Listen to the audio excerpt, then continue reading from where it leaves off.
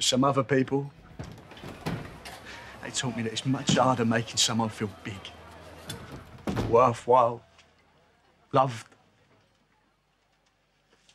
And you've never done that because you ain't got the strength. And for 28 years, neither have I, but now